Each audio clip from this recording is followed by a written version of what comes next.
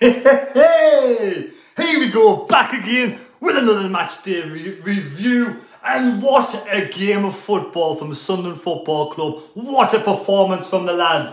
Absolutely superb comeback against all odds. As Phil Collins once said, against all odds, came back. Danny Batth out for the rest of the season. Makeshift defence. But we did the business against the dirty and I would say diving and I would say cheating. West Bromwich Albion, yes, I'm going to give them those sublimities for the simple reason that they hacked Sunderland, tried to hack Sunderland off the park, and also, you know, that wasn't a penalty in the first half, it was a goddamn dive from their play, but well done Sunderland, taking three points at the Hawthorns, a 2-1 win. I did predict the 2-1 win, did you? But anyway, let's get into the match review.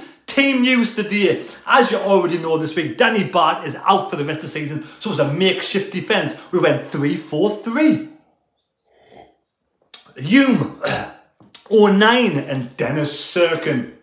Yes, before we get started, man of the match, Dennis Cirkin, and you know why, you know the reasons why. Superb brace. The guy's on fire. He's absolutely on fire, this young lad. One of the standout players of the season one of the first names on the team sheet at the start of the day. But three at the back, Luke 197, Luke O'Nien in the middle, Cirkin left, Trai Hume right. Then there was the four, Gooch Clarke either side of Ekwah, who starts, Dan Neil.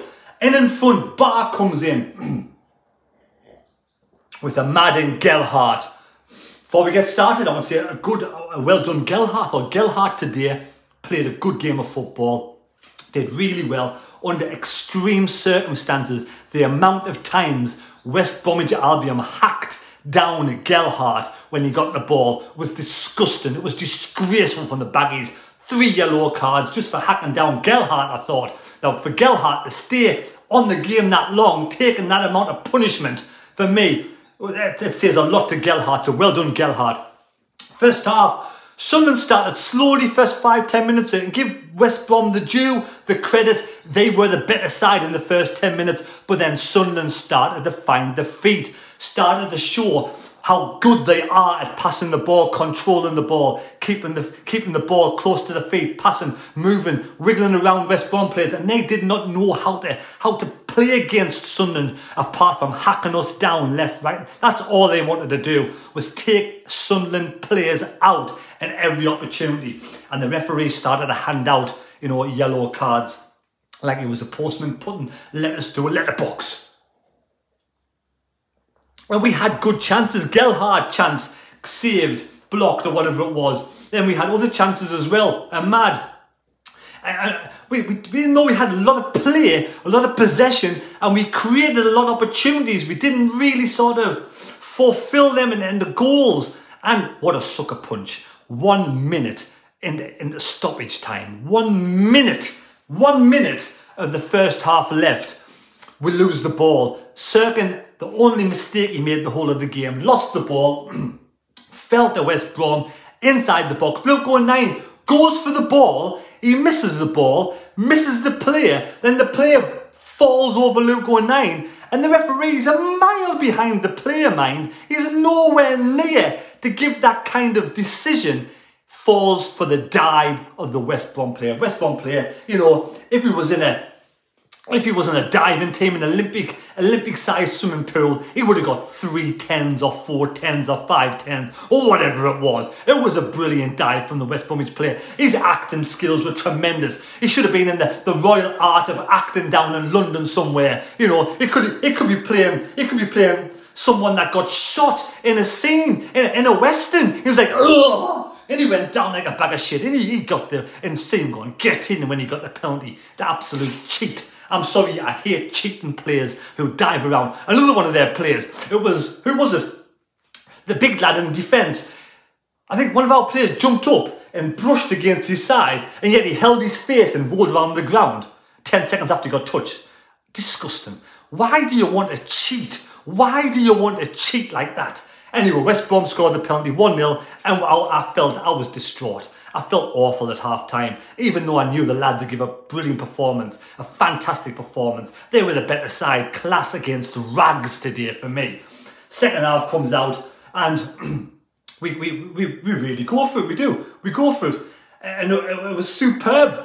It was superb from Gooch on the right hand side. The Gooch gets the ball right hand side and he's wiggling around amongst two or three players and the ball sort of comes in between two defenders and I don't know how he does a gooch. I have no clue. But he whips the ball through two defenders and Dennis Cirkins is standing there in the middle of the penalty box. And he just gets his head back and gets it, places the ball in the top right hand side, Dennis Cirkin. And that was absolutely amazing goal. Keeper no chance. And the players went absolutely mental. And that was what we deserved second half. We deserved an equaliser. It was a superb equaliser. Dennis Cirkin, like I said, then it was a bit West Brom was one to peach, and it was a, like a real good cup game. It was. It was a good.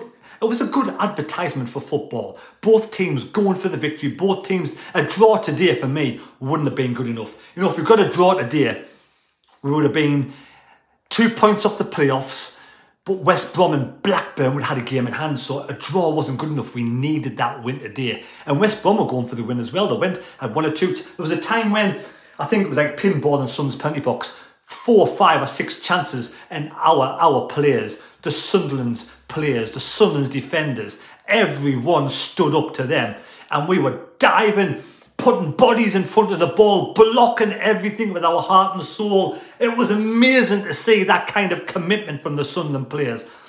But we did get that change. We made the substitutions. Ba went off for Roberts. Pritchard came on. And Ekwah. Ekwah, again, good game of football, Ekwah early doors of the game, one of two touches went, went astray, but he, he grew into the game. And Ekwah could be a good a good player for next season. He really could. He could play that, really fit in that mid, midfield role. But Pritchard came on. So, oh, Michut came on as well. Yeah, so Pritchard came on after Michut because Michut came on and it was Ba who went off for Roberts, Michut came on for Ekwah and Pritchard came on. And I think it was who went off for Pritchard again?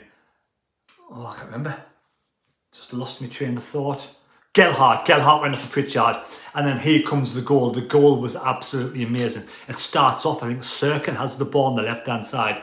He moves the ball forward. He gives it to, to Michut, Michut to Cirkin, to Pritchard, Pritchard.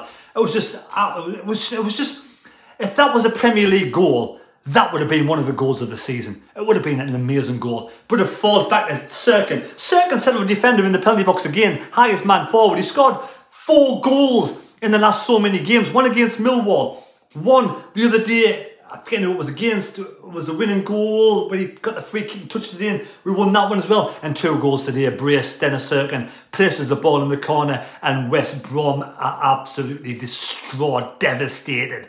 But Tony Mowbray and the side are absolutely jubilant.